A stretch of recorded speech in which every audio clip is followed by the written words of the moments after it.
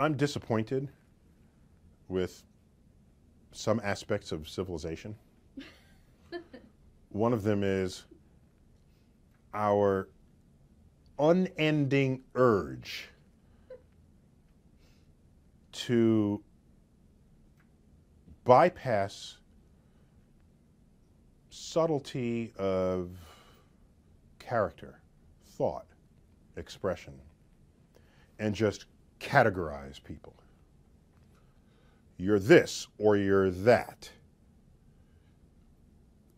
Do you realize what that does? It minimizes how much thought you have to put into it. It's lazy. It's intellectually lazy. Are you are you Republican? Are you Democrat? Are you this? Are you heterosexual? Are you homosexual? Are you, first of all, why do you even give a shit? Okay, first of all. Uh, second, if you want to understand who and what a person is, have a conversation with them. Don't step back and say, give me the one word label that is you. Now I'll claim I know everything there is to know about you because I've just labeled you as such. Because that label comes with a portfolio of what you should be if you are that label. I don't play that. I don't, you know, there's one label I'll take. I'm a scientist. That's the only label I will embrace. That says a lot about my, how my brain is wired, how I think, my curiosity, my wonder. Beyond that, leave labels out of it. Left brain, light. I'm, I, am i am brained, okay? How about that? I'm brained. Not left brain, right brain. I have a brain. And when I want to judge what it is I can accomplish, I don't look at my ancestors. Oh, I have an ancestor who was this, who was an engineer, or is this or that. Therefore, I can be. We are all genetically related. Every human being on any two humans on Earth have a common ancestor if you go back far enough in the family tree. So the fact that you draw a circle that's this big around family, say that's my family, and outside the circle it's not, that's an arbitrary circle. That's biologically arbitrary. You've decided for yourself that inside the circle is my family, outside it's not. When we have genetic links among all human beings. So what I do is I look to see what have human beings accomplished? What poetry has been written by Keats or Browning? What, what novels have been written? What speeches have been given? What discoveries have been made? And that's what I use as my reference for what I am capable of as a human being. Don't call me left brain, right brain. Call me a human. Can I just ask you, I just, two Elon Musk questions. Any chance we're living in a simulation, as he's described? Yeah, I think uh, this, this idea came forth back in, in, the 1990s as a philosopher, forgive me, I, have forgotten his name, uh, who thought it, as computing power grows, we can create worlds in a computer. Wait a second, like we're living in the Matrix? I'm getting there. I, I, got this. I, right. I, you get I, I got this. So, so if you have tremendous computing power, you can simulate every possible thing that could occur, right. including the neurosynaptic sure. firings in the characters that you create. So in that sense, why what's to stop you from thinking that the characters you created are themselves real. Now, if you've created this world and the world has built into it a kind of pseudo free will, maybe those characters will say, I want to create a simulation. So then they create simulations right. within the simulations. Step back and ask, how many total simulations are there? How many total worlds are there out there? There's only one real world and everything else is a simulation. Which are you more likely to be so in? I'm in the real world. How do you describe what you do? Professionally, I'm an astrophysicist. You are an astrophysicist, and yeah. you have the vest to prove it. Thank you. It, it underlines you. what it is that you do, mm-hmm. which we're going to talk about. Because you know, you know something? What? Underline is simply the typesetter's instruction for italics. I didn't know that. Yes, that's all. That's why you never see anything underlined in a newspaper. It's just italic. It's a weird leftover curiosity of the transition from typewriter to computer when all you had was a typewriter communicating with typesetters. But see, this is what makes you so fascinating. You kind of know about everything. You are no, no. You are okay. Wait. I only right. talk about what I know, and that might sound like everything, but there's a whole lot of stuff I don't know. No, but you know a whole lot of cool stuff. You know Did why you know I know a lot of cool stuff? Why? Because when I'm with someone mm-hmm. and they ask me about the universe, I say I'm not interested in the universe because I already know about it. I want to find out what you do. Okay. And then I learn about what people do. I don't grow up and only ever talk about the universe. Well, so let's talk about that. You have a, a huge appetite for being intellectually curious. Oh yeah. Where did that come from? Uh, well, it, it's it is contained within any adult who has not grown up. So you're still a big child. I'm still a kid. And I think that's true for most, if not every single person who carries scientist as a title. Because what does a kid do? A kid turns over rocks and explores and pokes things, and it takes foresight for an adult to allow that, recognizing that these explorations that usually end up in stuff that's broken are actually experiments on the forces of nature that surround us. Kids don't worry about the weather. Oh, it's raining. Let's go out and get wet. No, you'll get your clothes dirty. Oh, there's a mud puddle there. Let me jump into it with two feet. No, everything is a no. Every time it's snowing outside, now I have to remind myself, but I do open my mouth and catch snowflakes in it. Just like kids. I, it's a reminder of what I don't want to lose as I get older. Because that is an inherent state of curiosity that I think we're born with and just get it beaten out of us because it's not mature to jump two feet into puddles. So how did you not get this beaten out of you? What did your parents do right? Uh, so, well, my parents are not scientists. Uh, my mother was a housewife, a common profession of the day. And my father was a practicing so, sociologist. Meanwhile, here's their son, the astrophysicist, which I knew I wanted to be since age 11. Many parents want their kids to be what they are or want their kids to be what they tried to be and never were. None of that went on in my household. They saw what I was interested in, that of my siblings, and they nurtured that. You said you knew what you wanted to do since you were 11. So it's actually since age nine. Since I was 11, I was able to assign a job title to it. So what was it at nine? That do you remember the sort of a Oh, yeah. moment? At age nine, first encounter with a planetarium sky at my local planetarium, the Hayden Planetarium Mm-hmm. here in New York City. Where you are now director, I'd like to point out. Yeah, yes, Which I'm is now pretty darn cool. Director. You know, you go in and you, these big, com- comfortable chairs, and they recline or they lean far back, and then they turn out the lights, and the stars come out, and I thought it was a hoax. Oh yeah, it was a hoax because I had I knew the night sky from the Bronx where I grew up. The sky had nine stars in it, you know, and this had thousands, countless thousands. Yeah, of course, later I would know that it was the real sky, and from then on, the universe called me. And I, in retrospect, I think perhaps had no say in the matter. It was just what you were meant to do. Yeah, and so I've been thinking about the universe ever since. And who are your heroes in your field? Yeah, uh, I'm not very hero driven or role model driven. In fact, I think role model is overrated. In fact, I think it's a bad concept.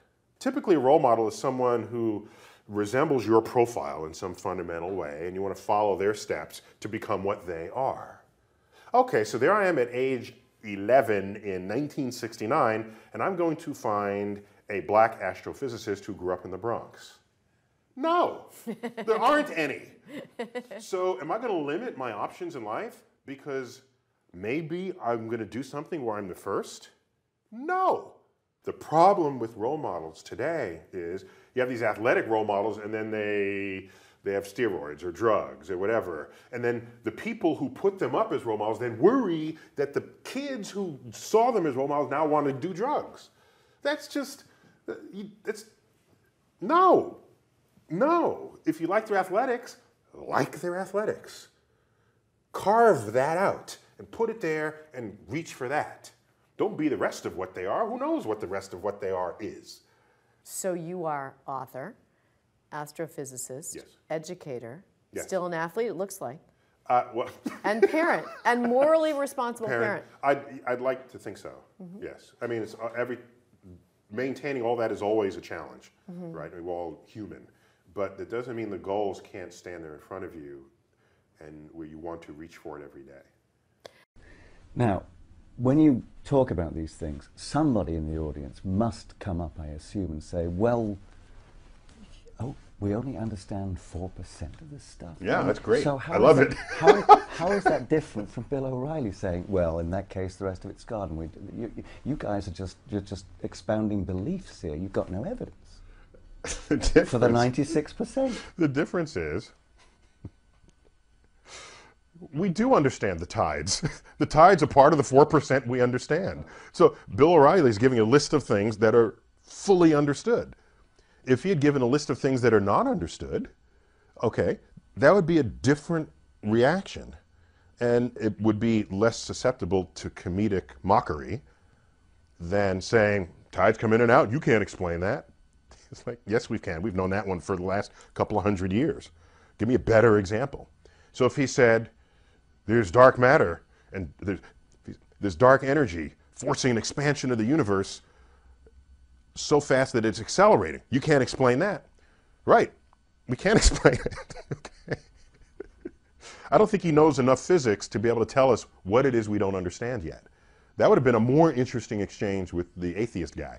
I, I forgot his name, forgive me, but the guy who, who, who he was interviewing.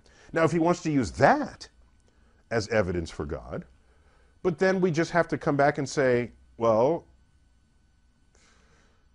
doesn't mean if you don't understand it, something and the community of physicists don't understand it, understand it, that means God did it? Is that, is that how you want to play this game?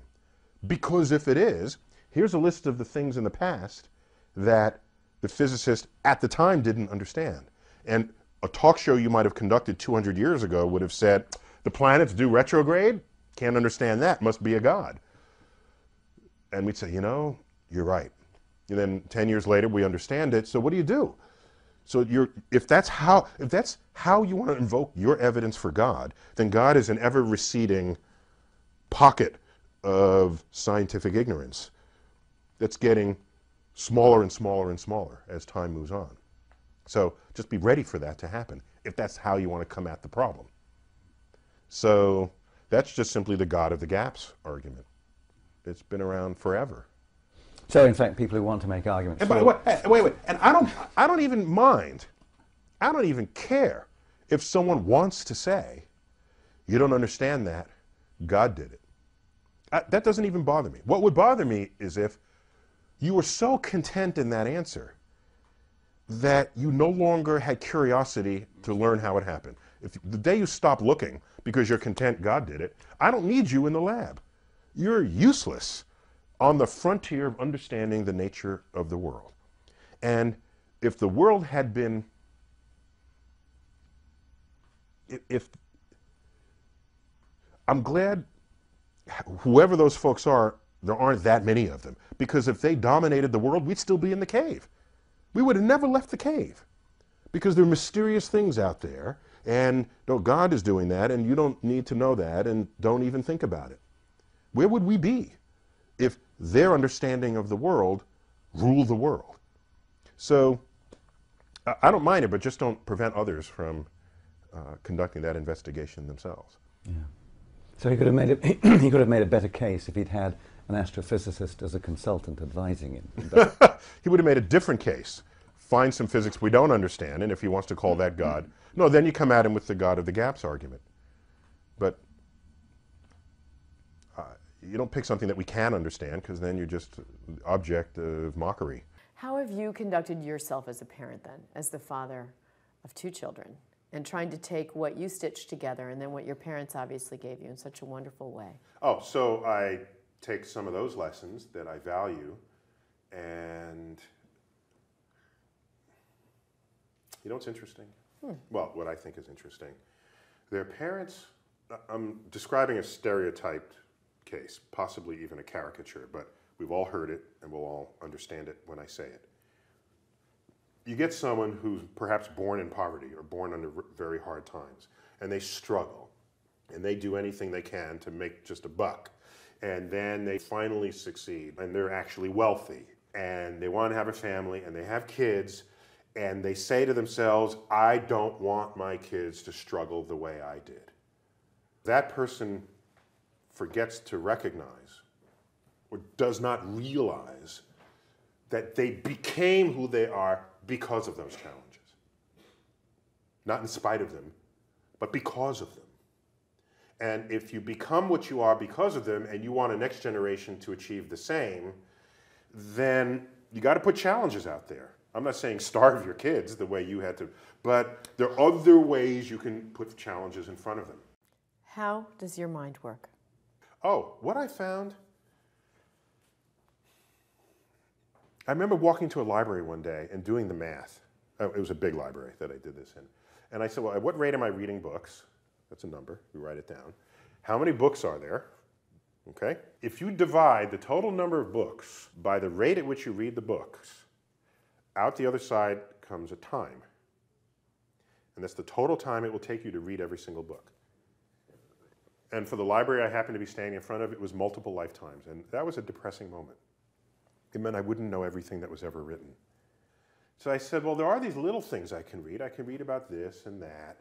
And when you start this, you wonder, will it ever sum to anything?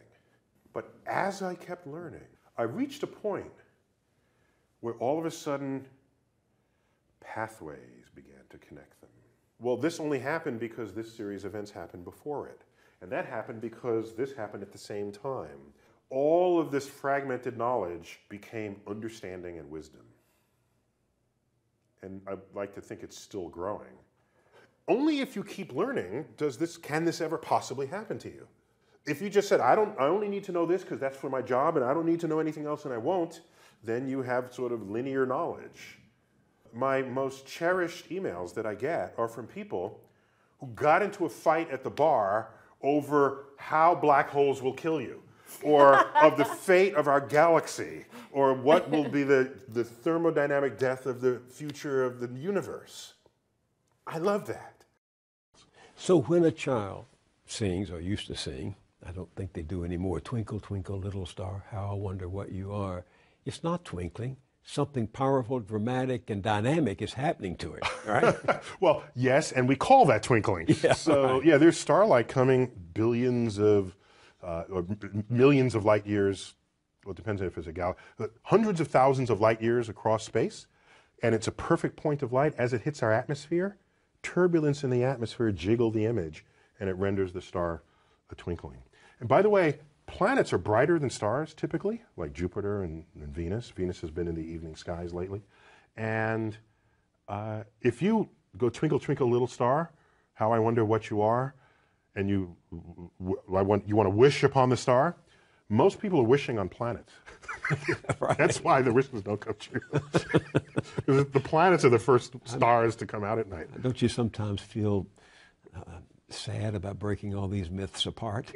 no, no, because I, I, I think it's uh, some myths are, are, deserve to be broken apart out of respect for the human intellect. That um, no, when you're writhing on the ground and froth is coming out of your mouth, you're having an epileptic seizure. You have not been invaded by the devil. We got this one figured out, okay? I mean, discovery moves on. So I, I, don't mind the power of myth and magic, and, but take it to the next frontier and apply it there. Don't apply it in places where we've long passed what we already know what's going on. I came out of the planetarium, and that evening I sat thinking about what you said in the show about you acknowledged the Big Bang, and you, and I remember that Hubble rewound the process mathematically, correct me if I'm, I'm, wrong, and calculated that everything, matter, space, energy, even time itself, actually had a beginning. So it turns out that was not Hubble, although Hubble had the data that enabled the calculation. The person who did that was a Belgian priest, George Lemaitre. He's a, he's a priest, physicist, physicist priest. Right. Okay? What a cool thing to have on your business card. You got every, you got people coming and going with that. But uh, he calculated what the implications of Einstein's general relativity, which was the new theory of gravity, would be with Hubble's expanding universe. And he says the whole universe may have begun in a singular point in the past. And thus, uh, Big Bang as a phrase was used pejoratively of this idea, but it stuck. An incredible flash of energy and light, though. And matter, and yeah, all of this, all of the above. Do you give people who make this case that that was the beginning and that there had to be something that provoked the beginning? Do you give them an A at least for trying to reconcile faith and reason? Um, I don't think they're reconcilable. What do you mean? Well, well, so let me say that differently. All efforts that have been invested by brilliant people of the past have failed at that exercise. They just fail. And so I don't, I, I don't, the track record is so poor that going forward I have essentially zero confidence, near zero confidence that there will be fruitful things to emerge from the effort to reconcile them. So, for example, if you if you knew nothing about science and you read, say, the Bible, the Old Testament, which in Genesis is an account of nature, that's that's what that is. And I said to you, give me your description of the natural world based only on this. You would say the world was created in six days and that stars are just little points of light, much lesser than the sun. In fact, they can fall out of the sky, right? Because that's what happens during, during the um, revelation. One of the signs that Yeah. the second coming is that the stars will fall out of the sky and land on earth. To even write that means you don't know what those things are. You have no concept of what the actual universe is. So everybody who tried to make proclamations about the physical universe based on Bible passages got the wrong answer. So what happened was when science discovers things and you want to stay religious or you want to continue to believe that the Bible is, is unerring, what you would do is you would say, well, let me go back to the Bible and reinterpret it. Then you'd say things like, oh, they didn't really mean that literally, they meant that figuratively. So this whole sort of reinterpretation of the fig- how figurative the poetic passages of the Bible are came after science showed that this is not how things unfolded. And so the educated religious people are perfectly fine with that. It's the fundamentalists who want to say that the Bible is the literally literal truth of God that and want to see the Bible as a science textbook who are knocking on the science doors of the schools trying to put that content in the science. Uh, enlightened religious people are not behaving that way. They're saying, yes, science is cool, we're good with that, and use the Bible for to get your spiritual enlightenment and your emotional fulfillment. I have known serious religious people, not fundamentalists, who were scared when Carl Sagan opened his series with the words, The cosmos is all that is, or ever was, or ever will be. Uh, that scared them because they interpret that to mean then if this is it, there's nothing else. No God and no life after. For, for religious people, many people say, well, God is within you, or God, there are ways that people have shaped this, rather than God is an old gray bearded man in the clouds. So if God is within you, what I'm sure Carl would say, in you, in your mind, in your mind, and we can measure the neurosynaptic firings when you have a religious experience. We can tell you where that's happening, when it's happening, what you're feeling like at the time. So your mind, of course, is still within the cosmos. But do you have any sympathy for people who seem to feel only feel safe in the vastness of the universe you describe in your show if they can infer a personal God who makes it more hospitable to them, who cares for them? in this, uh, what we tell ourselves is a free country, which means you should have freedom of thought. It, I don't care what you think. I just don't. Go think whatever you want. Go ahead. Think that there's one God, two gods, ten gods, or no gods. That is what it means to live in a free country. The problem arises is if you have a religious philosophy that is not based in objective realities that you then want to put in the science classroom. Then I'm going to stand there and say, no, I'm not going to allow you in the science classroom. I'm not telling you what to think. I'm just telling you in the science class, you're not doing science. This is not science. Keep it out. That's where I, that's when I stand up. Otherwise, go ahead. I, I, I'm not telling you how to think. I think you must realize that some people are going to go to your show at the planetarium and they're going to say, aha, those scientists have discovered God. Because God, dark matter, is what holds this universe together. So is that a question? It's a statement. You know, you Statement. know they're going to so, say that. So, the history of discovery, particularly cosmic discovery, but discovery in general, scientific discovery, is one where at any given moment there's a frontier. And there tends to be an urge for people, especially religious people, to assert that across that boundary into the unknown lies the handiwork of God. This shows up a lot. Newton even said it. He had his laws of gravity and motion, and he was explaining the moon and the planet. He was there. He doesn't mention God for any of that.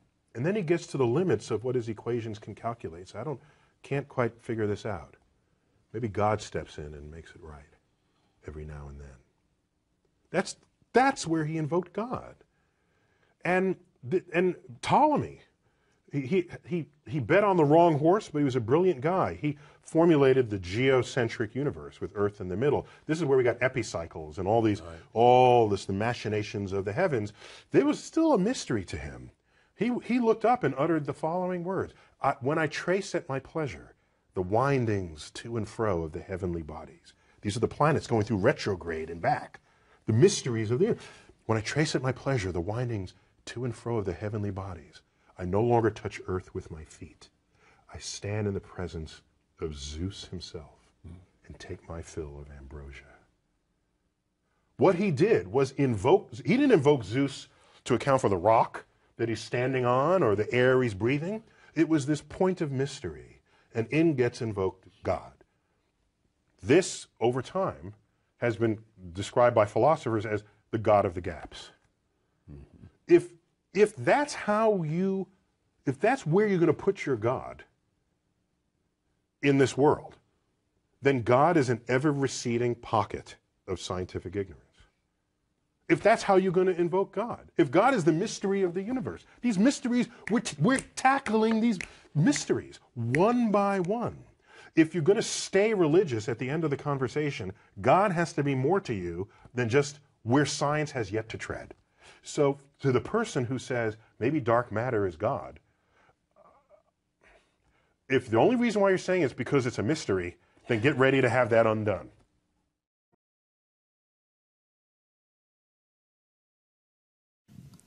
Go up by another factor of a thousand, you get to a billion.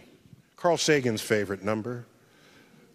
In fact, if you bring your chin out and say the word billion, it sounds beautiful. We'll all do it together on three. Ready? First, stick your chin out.